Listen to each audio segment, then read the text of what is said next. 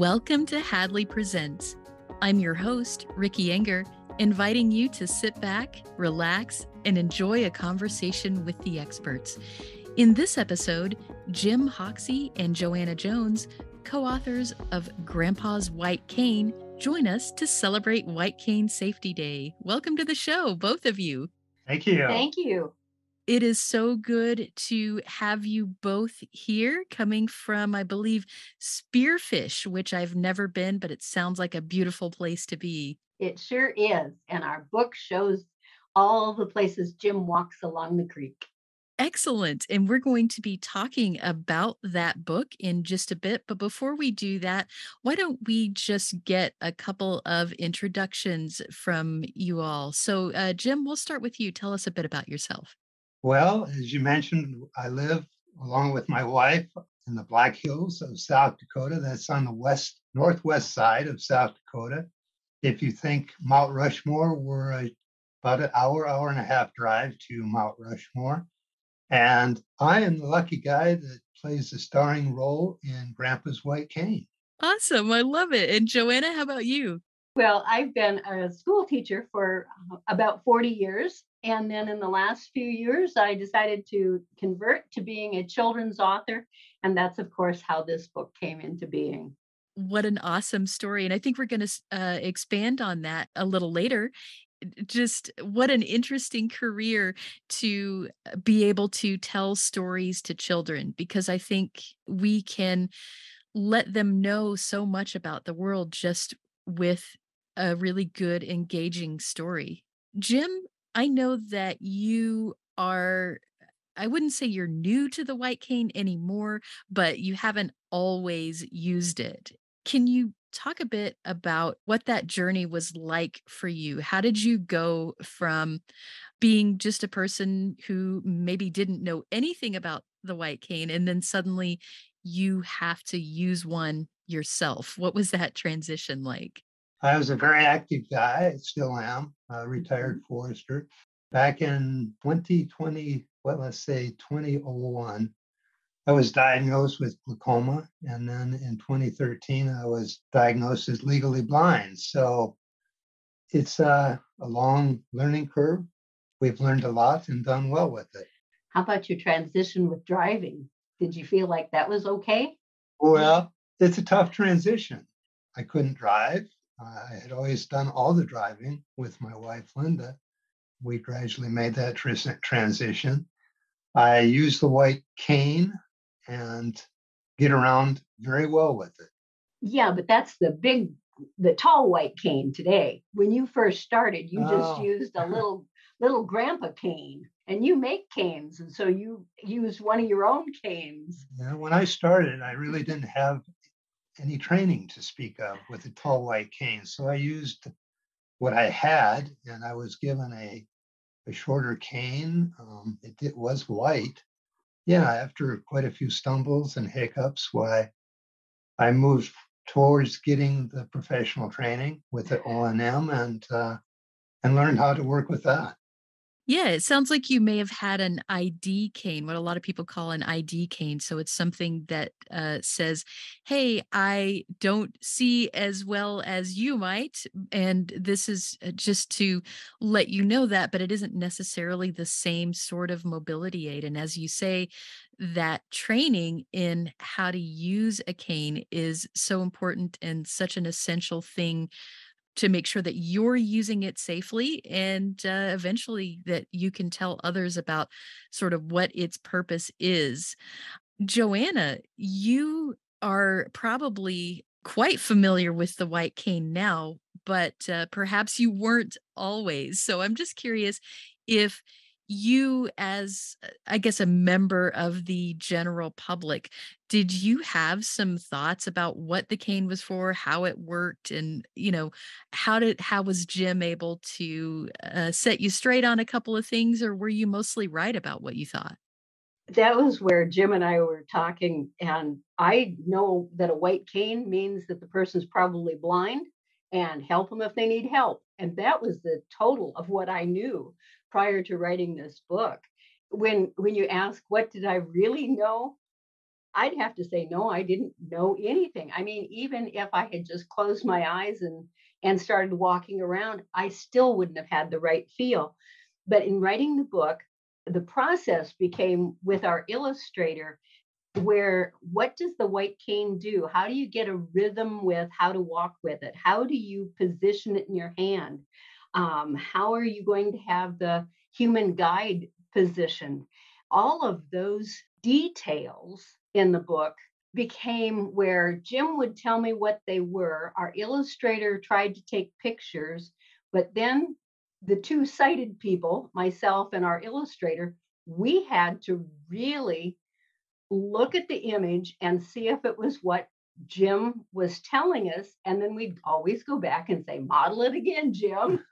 and we took more pictures. And, and the piece that Jim really felt was so important was to make sure the accuracy of how the cane was being held, how the human guide was being positioned next to the body. All of these things were so very important because we want the visually impaired to know that there's accuracy in this book.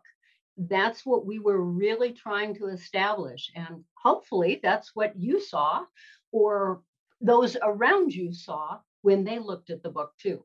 I do have some vision.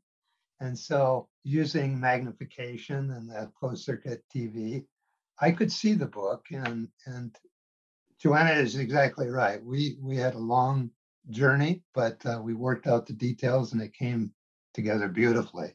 And Jim, how did it come about in the first place? How did you go from no training at all to then learning the proper ways to both use a cane and uh, work with a human guide, all of these things that you get when you have quality training.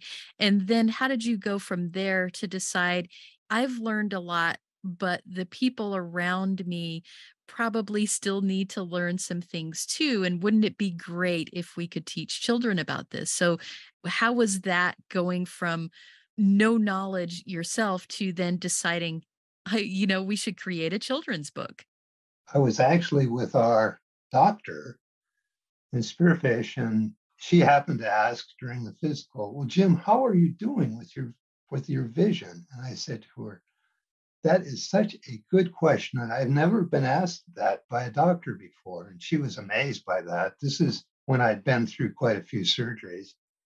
And she said, Are you a, a veteran? I said, Yes, I am. And she she immediately got up and walked out, went to the phone, and she called the VA and came back in and said, Well, Jim, you're set now to be called by the VA, and you're going to be going to the Blind Rehab Center in Chicago, the Edward Hines Blind Rehab Center. Wow, you know, I, I, I had no clue. I didn't know about these resources, and I had tried to learn about the resources, but no, no one had offered that. So it was exciting for me. And I went, and you can imagine a legally blind guy getting on a jet and flying from Spearfish, South Dakota to Chicago, that's a that's a little scary first time, and and I didn't know how to use a cane. I mean, I'd been stumbling around trying, but so we made it. I made it alone, and uh, they picked me up at the airport, and I had six weeks of one-on-one training with a qualified certified trainer, learning how to use the tall white cane. Now, along with that, we had quite a few other classes, but for me, the highlight was the white cane. The confidence and independence of using that was really awesome. That's how that came about. And I came back to Spearfish, and while there, one of the uh, directors, assistant directors, said to me, you know, how asked how I was doing, and I said, "Well, I'm doing fine, but it seems to me like a lot of people really don't know what the white cane is. A lot of people do, but a lot of people don't. He said, Well, how do you feel about that? Not too good. and so he said, Well, I want to encourage you and challenge you to go back to Spearfish and think about working with middle school age children so when I when I came back, uh Yes, when you came back and you started telling us all about Yeah. this episode of how to get into schools and tell people about it, he talked to teachers. a couple of us are retired teachers around here, and we said, Well, Jim, if you want to get into a school, we'll just do that. We made it happen. Yes, so we we did. We just sat down and of course Jim being a forester was not used to teaching lesson plans and and so I went into the classroom with Jim and and we made our lesson plan and then we also made sure that we had interactions for the children. Uh, Tell her about the the canes you made, Jim, for the children. We wanted it to make it educational and fun. I put together some wooden dowels. They're maybe three, three and a half feet long, and they're they're painted red on the one end, and there's a black handle on the other. And when we go into the classroom, we we actually give the children an opportunity to follow me around the classroom. And wow, that was really well received. They were enthusiastic, asked great questions, and I see those children four or five years later, and they're still saying, "Oh, the guy. You're the blind guy that came to our class." And yeah, I'm, and and sometimes they have a friend with them, and they, they're telling the other child about their experience. It's great. It's fun. It really is neat to hear this coming back again. But you know, that was why when Jim was going into the classroom, after about two years of doing this, or twice we went in, I said, Jim, you know, we have a lot more schools in the area and we need to go out and talk to them. And between the two of us, we kind of said, well, maybe it would be a better to just write it in a book and then we could talk to kids all over the world. And so that's what we did was we started writing it after that second year of presenting. We wanted to make sure that everybody got a chance to see the book. But our first piece was with the um, lions club they gave us some money so that once we got our book published we could take the published book into our local classes here and they had those available for the children to read all the time and not just the day that Jim came. It's gone from just there in Spearfish to, of course, now your book is available on Amazon. You can get that in uh, a print format uh, with illustrations as well as on the Kindle. So if you want to read it electronically, it's available that way as well. We will, of course, have links to that in the show notes. And again, I think it's such a great idea to distill all of those things that you were teaching the children and probably you learned some things along the way based on the kinds of questions that they asked and then to put that into a book is there one thing that uh you know maybe it wasn't included in the book but just one general thing that you wish the public knew about the white cane. Mine is don't grab it ever. You know, people want to take that cane, grab it, and treat it like a steering wheel, like they can point you in a particular direction. So that's mine. Do you have one, Jim, that you really wish people knew about the cane that a lot of them don't? We live in a, a relatively small community, maybe 12,000 people. And literally, I think I've not ever seen another person with a white cane. Having the public recognize what the cane is and what it's for and what that means mm. is so important. And many, many people do, but some don't. So, one of the very important things for me is that people recognize and know what that is.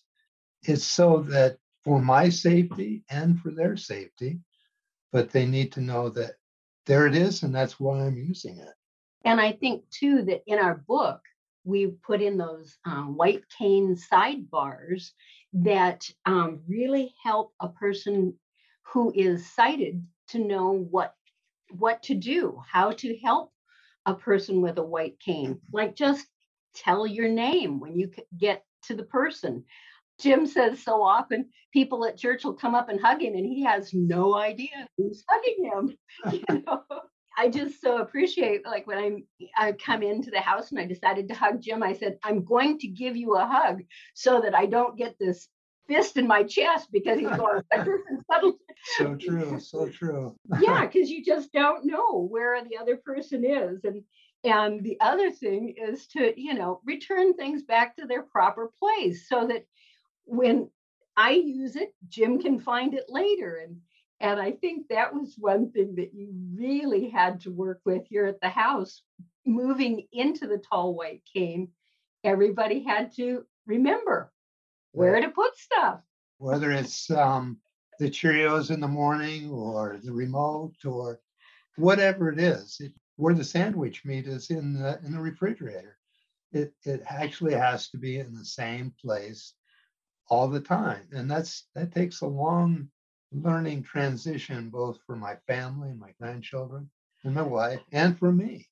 But it is really important that people understand that. And even like when we take things into school, I have to make sure I always have the same things and we have them in the same place in the classroom. So when Jim turns to say, Yes, we're going to use these canes, they're right there even though they're just a model and kids can make their own decision if they want to close their eyes or not when they do it but it's just exciting to to see that happen in the classroom absolutely.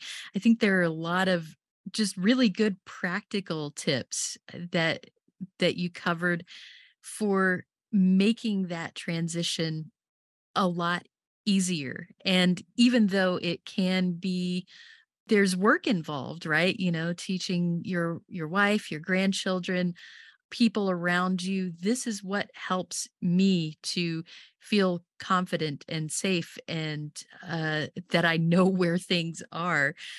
At the end of that transition if there ever really is an end it's probably just a continuous adjustment process in some ways but looking back now jim are there things that you would tell somebody who is maybe just at the beginning stages of losing their vision and uh, they're thinking about i don't know if i want to do this cane thing you know i don't feel comfortable with it it doesn't feel like me is there something that you would say to that person to make that transition feel a little easier or more comfortable you know, that's a, a very anxious time, at least in my life.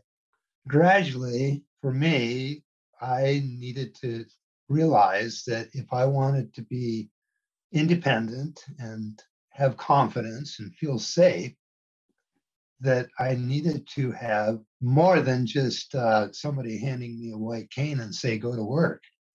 Looking back on it, I would say to people that are thinking about this that if they want to use a white cane and have that, for me, joy of using it, they need to consider getting professional help from a, a certified O&M instructor, that's orientation and mobility instructor.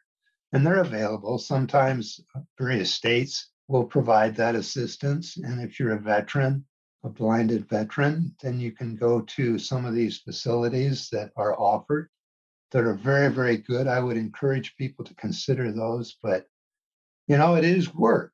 It's uh, you really, really got to want to do this. But for me, it definitely is worth it, and I love being out in the community. I hope others will consider that and move forward in their learning process. Thank you so much for that. And if you're listening and you're not sure how to go about finding an O&M instructor, you can contact Hadley and we can put you in touch with someone in your state or with the VA if you're a veteran just to remove that bit of it from the equation. If you're struggling to find someone, we can help with that. Jim, Joanna, I want to thank you both so much for joining us. Is there anything that we haven't covered that you would like to tell our listeners before we wrap it up? One of the things that I think Jim just really needs to tell you about is that we had a third grader one time come up to him after he had presented. And what did the third grader ask you, Jim? a touching moment. he walked up and said, brings tears to my eyes. it does. Go ahead. The, the third grader was knowing that he was going to be losing his eyesight. And he came up to Jim and he said, I have so enjoyed practicing today, hearing about this, and you are really good at using the white cane. Can I come and ask you questions? Can you be my mentor when I need you? It was quite a moment for me. Yes, it was. That is an amazing story. And Jim, just knowing that you're not just educating people who are sighted about the white cane, but you're also serving as an example for someone who's going to be going through that themselves. That had to feel just amazing. Yeah, it really did. And it still does. One of the other questions that kids inevitably will be asking us, or they'll say, My grandma has eye problems. Should she use a white cane? And while, of course, we don't know, but we talk to them about the fact that there are resources in the back of the book, or they can contact Jim. And, and that's important. The third graders, we can really tell that they are thinking about being blind, the not seeing things. And so they will ask Jim simple questions like, How do you drive? How do mm-hmm. you tell time, Jim? How mm-hmm. do you watch TV? How do you even pick out your clothes? and that makes a big difference when we know that we have actually made a connection with what is this white cane, this tall white cane? What is it all about? And I think that's really important. Absolutely. And it, you never know what kinds of questions kids are going to ask. I uh, had a friend who tells the story of hearing those questions that you have just mentioned. You know, how do you watch TV? How do you tell time or cook or whatever? She was fully expecting those questions. There was one instance where she reached the end of her presentation and asked if there were questions from the kids. And one of them said, I really like your backpack. Where did you get it? And so it was not just questions about blindness or low vision, but in general, when kids are able to see the the blind or low vision person as you do things differently than I do, but in some ways we're just the same too. For sure. Exactly. We are. Thank you both so much for spending a little time with us. I really appreciate it. And I know that our audience will as well. Just a reminder that in our show notes, we will have information on how to get your very own copy of Grandpa's White Cane. Again, congratulations to both of you on a fantastic book. And thanks for joining us. Thank, Thank you. you. We really appreciate it we today. Sure Got something to say? Share your thoughts about this episode of Hadley Presents or make suggestions for future episodes. We'd love to hear from you. Send us an email at podcast at hadley.edu. That's P O D C A S T at hadley.edu. Or leave us a message at 847 784 2870. Thanks for listening.